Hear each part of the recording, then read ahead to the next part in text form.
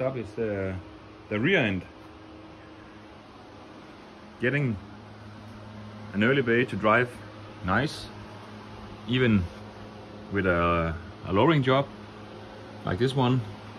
Uh, it's not super, super slammed, not like the, the single cab, but uh, a good a good lowering job with uh, good driving abilities afterward. I have a couple of tricks for this and this is my normal setup. Again, there's other ways to do this, but uh, I like to do it this way. So, first things first, I really like uh, the, adjustable spring plates you can buy from all different brands. Um, you can adjust your height here just with a, with a screw and um, yeah that's the one benefit. Other benefit is uh, if you just lower it the wheel will be like this when um, when you head up in the air and it's almost impossible to get it off without taking air out or uh, a crowbar to push the wheel down. So with the adjustable springs, the wheel kind of just fall down on its own when you're taking off the shock. If you um, have a lower shock, as I have on this one. If you're using stock, the wheel will all, almost fall completely down. That's the one thing. The other thing I like is uh, these horseshoes that sits in here. This is this one. I can find um, a picture of it a horseshoe is like this. It um, it sits on top of it like this. This is a uh, spring plate you can buy in aftermarket, and it does like this. So we go out and look at the, the car again.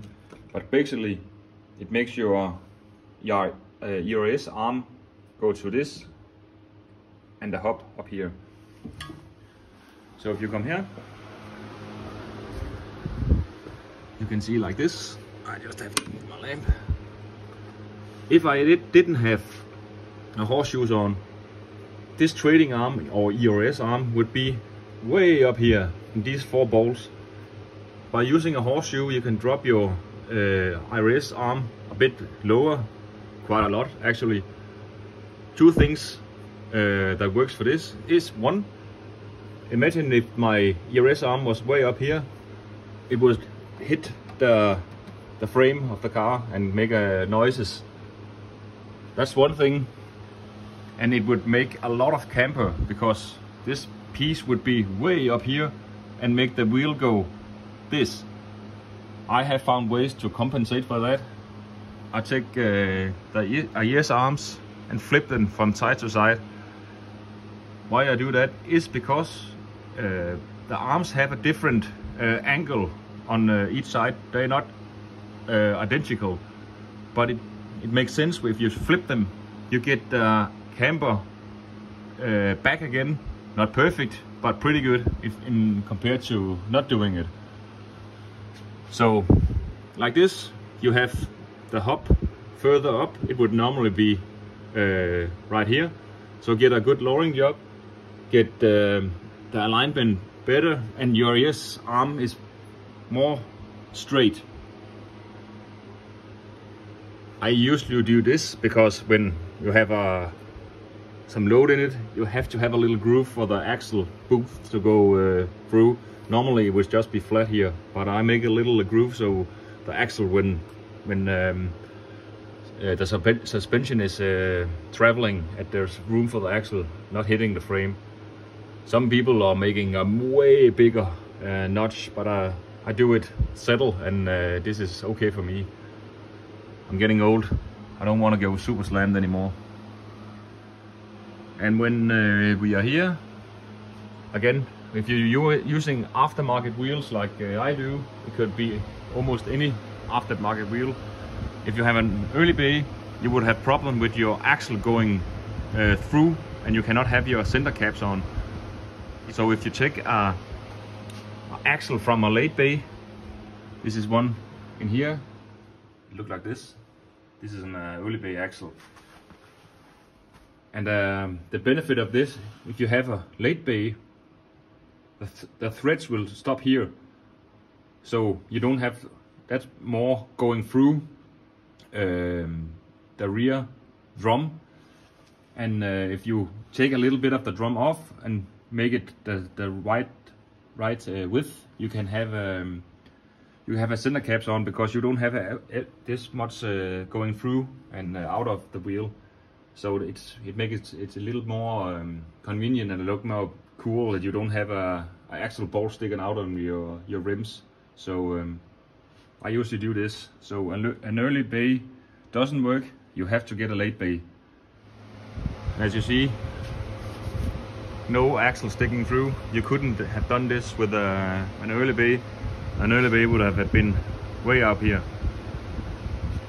And it sits nice and uh, there's room.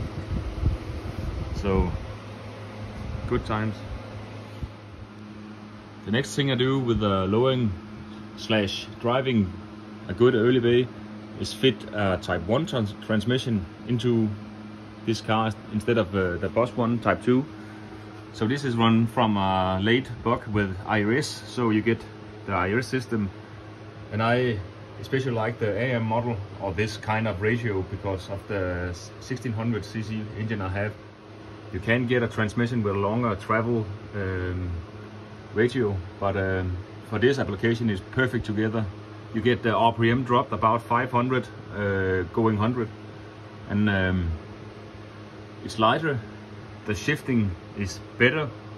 On Type 2 you have uh, two different stages of um, uh, hockey sticks inside the transmission house before you get to the, the shifter. On uh, Type 1 you only have one step so it's easier to uh, get a, a more firm shift on your car.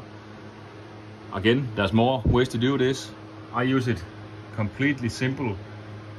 This is the original Type 2 transmission mount I have cut down, making new holes that fit the, the front mount of the Type 1 transmission. This is one with the 3 ball system. You can get it with two, but uh, it works pretty good. You can use the stock um, shift linkage if you do it my way if you don't, you have to make this a little bit longer uh, because the transmission hockey stick is a little bit shorter than um, the Type 2. But what I, what I do uh, is I leave it with the stock one because when you are out driving and it goes bad, you don't have to worry about uh, using a shift linkage you have customized to fit this one. Uh, but it just bolt on like it is. But this this bit you have to find the room another place and I did it in this end so instead of uh, making my shift linkers longer I just uh, extended the shift linkage in the front by yeah a couple of uh, yeah I think 10 15 millimeters it looks a bit uh, weird is that, that that it this much this is just because I don't want a, a welt uh, inside where my uh, my pin for the for a wheel goes. So uh, this is just why it's over here. Extend this one, keep it with a stock shift linkage in the back, and you're good. To make a Type 1 transmission work on um, an early bay, you have some things you have to do.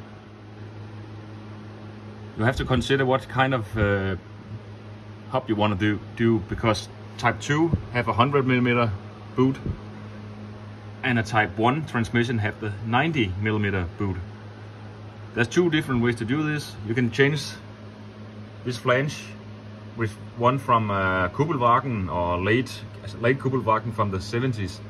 They're 100 and just bolt on the transmission from Type 1.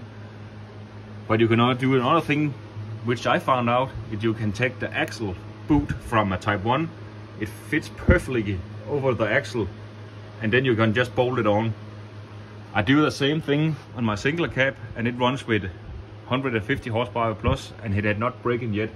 So uh, you can easily do that and then it just bolts on everything. To make a transmission from a Volkswagen uh, Type 1 work, there is some customization to do to get it work. Uh, the clutch cable uh, alignment is a bit different I used it like this. You can weld it, you can do everything. But this, this is Type 2 um, clutch uh, bracket here, and I just customized it to work with Type 1. The Type 1 would sit way up here and would not be long enough for, for doing like this. But this is a stock um, cable from Type 2 and it works perfectly. And um, that's the way I do it. You can keep your stock engine mount in the front. You can use your stock engine mount in the back and everything just fits pretty good. I have a little plan to use this one and make a bracket that goes through the frame so when you're putting the taking the engine out you don't have to have a strap going on here to uh, to keep the transmission not falling down but uh, that's not yet. That's, that's coming later. If you want to change your bolt pattern there's not so many ways to do it on a on an early bay. You can do three kind of uh, bolt patterns. The old one like this with its stock then you can fit uh, an early bay 5 by 130 Porsche uh, drum that will fit just on it. You only have to do is cut a bit down for the the late bay axle and then you're good to go. And the last thing you can do which uh, yeah will take a little work is get the complete rear hub and spring plate and ERS arm from a, from a late bay and you can bolt it on your early bay. Then you have 5 by 112. I have drums from um, from 5 to 130 or Porsche pattern, Porsche pattern on this one. And here you can see the same stuff. And there's a little groove behind it where the the sims I showed you before is. But this is a Porsche pattern rear drums. And then in front, yeah, just an adapter on disc brakes. So that works pretty good. And so you can see, not a lot of camber considering how low this is. So imagine a car with not so much lowering is even better with less camber. So go for it. Hope you can you can teach uh, yourself a little bit about this and um, make some good bay windows drive. Follow me on uh, YouTube on the um, name on the screen and subscribe and um, I will make some more videos of how to do it. If, people like it, maybe we can do it about this one uh, with the air, air ride suspension and how I've done it. See you later.